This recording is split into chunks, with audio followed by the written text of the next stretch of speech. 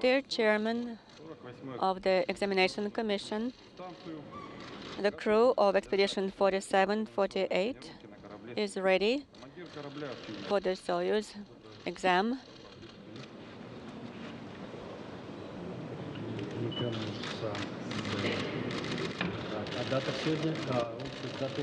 And the date today?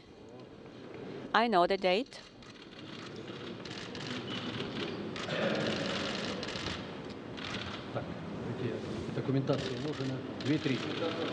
And the documentation is here.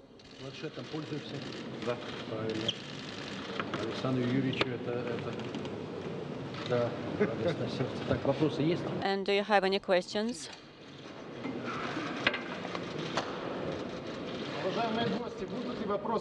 Dear guests, do you have any questions to the crew? Yes.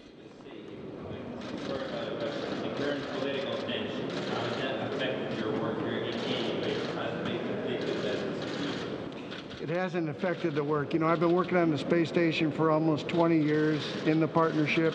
We've been training for over two years.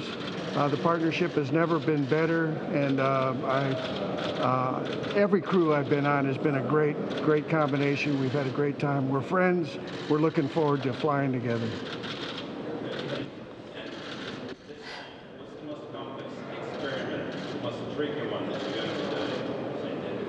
Well, I don't know if I can pick a most uh, complex or, or tricky, as you say. Uh, they're all uh, vary, in, uh, vary in their difficulty and their complexity or whatnot.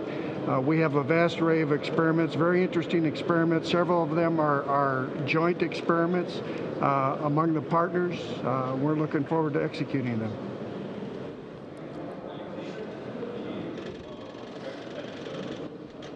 Вчера экзамен прошел хорошо.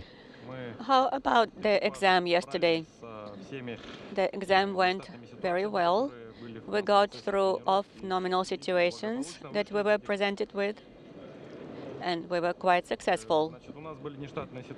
We had uh, the following off-nominal situations. The Elektron system failure, the COM failure, the VHF-COM and also Brie failure, smart switch uh, router, and ASU failure. And by the end of this sim, we had um, a fire that we could not um, douse on the station. Uh, to the space station. This one's going to be a, a little, about five and a half hours, four orbits uh, to rendezvous.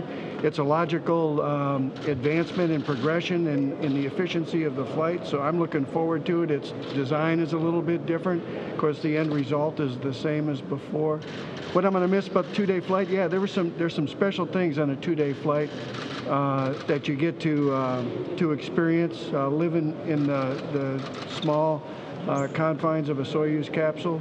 Uh, doing the solar spin is a very unique experience. Uh, um, and of course, uh, we always have the chance to, uh, to revert to a two day rendezvous.